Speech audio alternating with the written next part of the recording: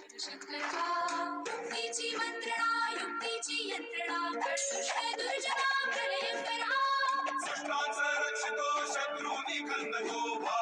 भावना संस्थापितो ऐसा युगे युगे स्मरणीय सर्वदा माता पिता सदा शिवभूपतो